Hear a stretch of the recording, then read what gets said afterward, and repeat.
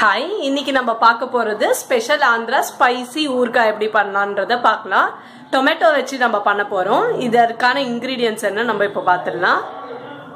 Spicy Andhra tomato ஊறுகாய்க்கு நமக்கு தேவையான பொருட்கள் டொமேட்டோஸ் டொமேட்டோஸ் வந்து நீங்க half KG to one KG எடுத்துக்கலாம். தேவைக்கு தகுந்தாற் போல. அப்புறம் நான் காஞ்ச மிளகாய் எடுத்திருக்கேன். கொஞ்சம் போல புளி தனியா எடுத்திருக்கேன். பெருங்காயம் கொஞ்சம் வெந்தயம் சீரகம் சில்லி மிளகாத்தூள் அண்ட் உப்பு தேவைக்கு தகுந்தா போல. இப்போ நம்ம கடாயில்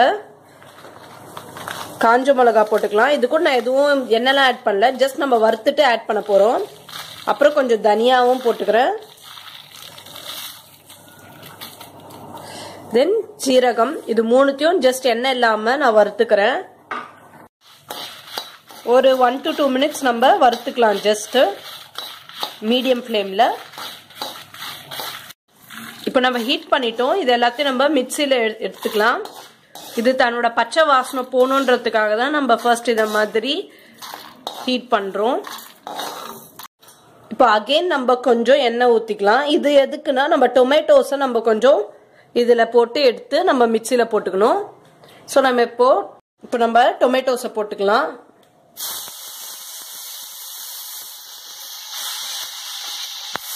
போட்டு நம்ம கொஞ்ச நேரம் வதக்கிக்கணும்.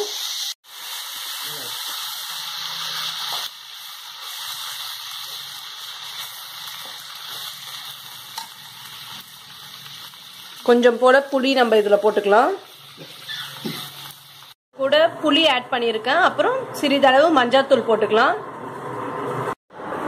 டென் டு ஃபிஃப்டீன் மினிட்ஸ் கழிச்சு இது எனக்கு ஒரு திக்கான ஒரு கன்சிஸ்டன்சியில் வந்துடுச்சு. நான் இப்போ இதை இறக்கி வச்சுட்டேன். இது கொஞ்ச நேரம் ஆறணும். ஒரு டென் மினிட்ஸ் அதுக்கப்புறம் நம்ம இதை வந்து மிக்சியில் போட்டு அரைச்சிக்கிறதுக்கு இது ரெடி ஆகிடும் இப்போ நான் இது எல்லாமே எடுத்திருக்கேன். மிக்சியில் எடுத்து அரைச்சிக்கலாம் நம்ம. இப்போ நான் என்னோட மிக்சியில் அரைச்சி எடுத்துட்ருக்கேன் இந்த மாதிரி உங்களுக்கு கிடைக்கும். சாசேஜ் டைப் வரும் உங்களுக்கு. இப்போ என்னோட பேனில் நான் வந்து நூறு கிராம் எண்ணெய் எடுத்திருக்கேன் நல்லெண்ணெய் எடுத்திருக்கேன். இது வந்து நல்லா இப்போ ஹீட் ஆயிடுச்சு. நான் போய் இது கூட கடுகு சேர்த்துக்கலாம்.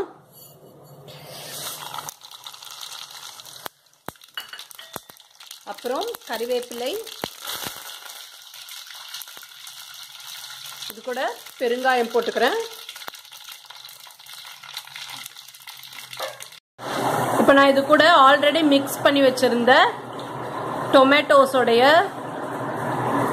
மிக்சரை போட்டுக்கலாம். கொஞ்சம் கலந்து விட்டுப்போம் நல்லா.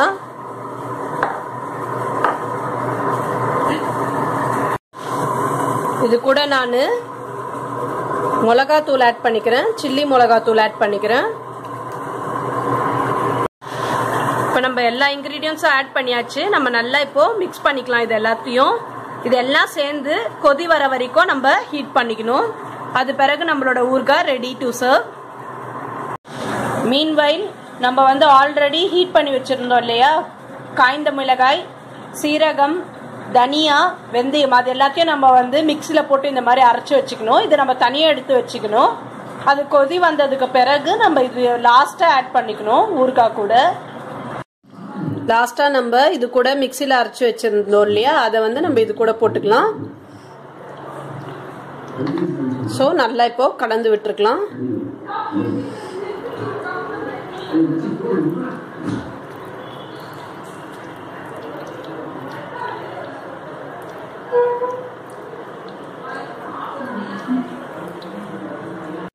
இன்னைக்கு நம்ம ஆந்திரா ஸ்பெஷல் டொமேட்டோ ஊறுக்காய் எப்படி பண்ணலான்றத பார்த்தோம்.